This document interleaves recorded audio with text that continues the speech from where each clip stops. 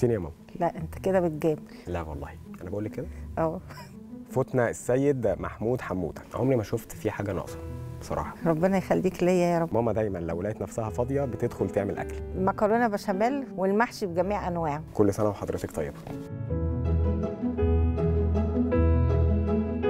أنا أحمد عبد الصمد مذيع صباح الخير يا مصر ونشرات الأخبار في التلفزيون المصري. مبسوط قوي إن أنا هكون معاكم النهاردة في حلقة أنا شايف إن هي هتكون قريبة لقلبي علشان هكون في حوار مع أمي لأول مرة. عمري 36 سنة لكن أعتقد مش هتجمعنا أبدا قاعدة زي اللي هقعدها النهاردة. وحشتيني يا ماما. وأنت وحشني جاي هنا بجد جابوني عندي شوية أسئلة هقولها لك. ماشي. كلمة بتحبي تسمعيها مني وإحساسك بيها إيه؟ حبيبتي يا أمي أنا بقول لك كده؟ آه لما بتكون عايز تحب مني حاجة بتقولي حبيبتي يا أمي. إمتى بتحسي إنك فخورة بيا؟ وأنا بشوفك آه، على الشاشة.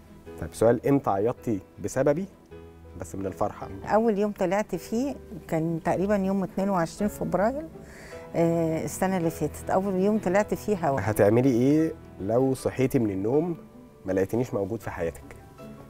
لا بعد الشر. أنا كمان مش هبقى موجودة. بعد الشر عليك. لا. ربنا يخليك ليا يا رب وتبقى قرة عيني ليا على طول. تحبي تشيلي إيه مني؟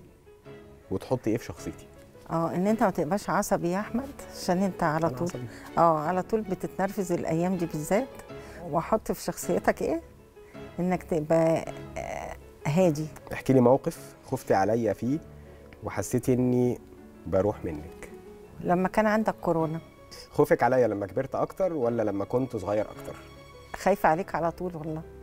انت واخواتك يعني مش مش انت بس. دورك بقى في الأسئلة. إيه أول حاجة بتيجي في بالك لما بتسمع كلمة ماما؟ الحنان الحب الاحتواء. بجد؟ آه والله.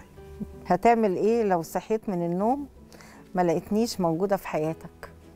هتمنى إن اليوم ده يحصل لي أنا الأول قبل ما يحصل. بعد الشر. يعني اشعرتني من سؤالك ليه؟ ماشي. تحب تشيل مني إيه وإيه الحاجة اللي بتحب تكون فيا؟ لما بتغضبي. بتزعلي. ده الحاجة اللي أنا أحب أشيلها. إيه الحاجة اللي أتمنى إن هي تكون موجودة فيكي؟ عمري ما شفت فيه حاجة ناقصة بصراحة. لا أنت كده بتجامل لا والله. لا قول لا لا, الصراحة. لا والله بجد. عمري ما شفت حاجة. ناقصة. لا والله. لما بيحصل بينا سوء تفاهم أو خناقة بتقول عليا إيه؟ لا أنا بيعجبني إن يعني لو اتخانقنا أعتقد عمر خناقتنا ما كملت ساعتين ثلاثة هي بعد ساعة على طول بتجيلي بالظبط يعني. أنا اللي باجي هو ف... آه الحمد بس. أنت بتزعلني. بنلم الموضوع على طول. آه. خلاص أنا قلت أنا آسف. إيه أكتر كلمة أنا بقولها في البيت ما بتعجبكش؟ آه, يا أحمد هتتأخر. آه صح. دي. إيه أكتر نصيحة قلتها قلتها لك وبتفتكرها دايما وفارقة معاك؟ أنا اركز في شغلي واللي أنا مهما الدنيا جت عليا ما استسلمش وأكمل يعني دايما مم. بتساعديني وبتزقيني لقدام. وسامح. وسامح. مم. بتعرف إزاي إني زعلانة ولا مبسوطة؟ المطبخ. أيوه. زعلانة مفيش مطبخ. مبسوطة في مطبخ وفي دايت بيبوظ. أيوه. خلاص كده؟ زعلانة مني في حاجة بقى؟ لا ما أقدرش. بجد والله؟ لا والله. استغل وجودي مش هيحصل القعدة دي تاني. يعني أنا زعلانة بس إن أنت ما بتقعدش معانا كتير.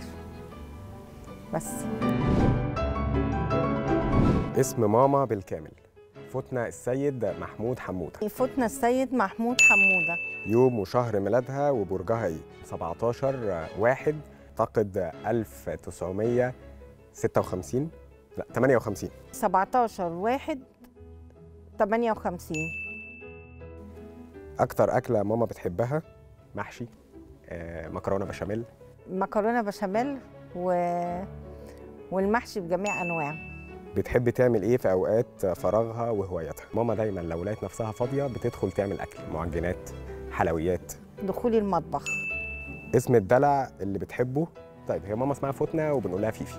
بحبهم يندهولي بفيفي. أكتر حد بترتاح في التعامل معاه من قرايبكم. ماما عندها كل يوم الصبح لازم يكون في مكالمة لخالي محمود وخالتي اللي هي عزيزة وبنقول لها زيزي. أخويا محمود وأختي الصغيرة زيزي. ماما عندها فيسبوك ولو عندها بتعلق عند مين دايما.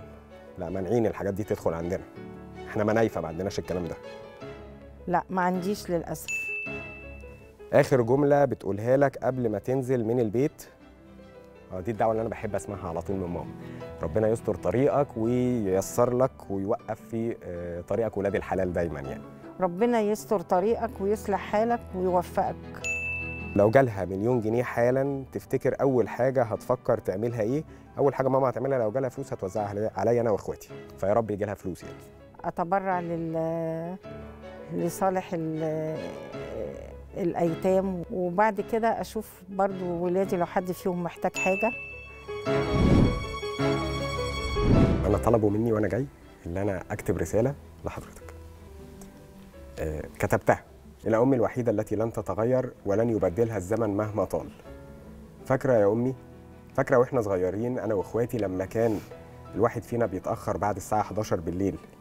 فاكرة رد فعل بابا على مخالفة قواعد ونظام البيت آه. وكلمته الشهيرة؟ مكان ما كنت ارجع. ارجع. فاكرة تدخلك في دقايق لاحتواء الموقف بطيبة قلبك المعهودة علشان يسمح لنا بالدخول؟ وبتبريرك بأننا هنلتزم بالمواعيد بعد كده في المرات اللي جاية. الدرس ده تحديدا درس بابا زرع فينا بيه الالتزام مم. واحترام الكلمة والقواعد. وانت زرعتي فينا بطيبة قلبك الحب والتسامح والصدق المنجي. كل سنة وحضرتك لك و- قدام الناس كلها والله بحبك قوي. والله وأنا بحبك يا احمد ما تقوليش بحب محمود بس لا بحبك انت. انت محمود ومصطفى. ربنا يخليكوا ليا. يا رب. خلينا كلنا لبعض. و... وأنا مبسوطة قوي إن أنا يعني قعدت قضيت وقت جميل معاك ما بيحصلش طبعا.